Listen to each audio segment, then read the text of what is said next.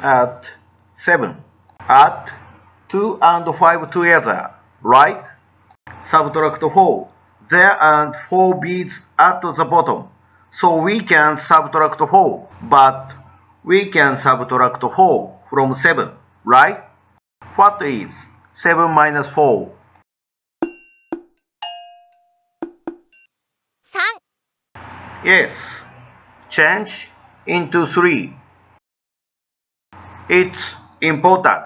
The order to change. Change the under beads first in subtraction. Change into 3. The answer is 3.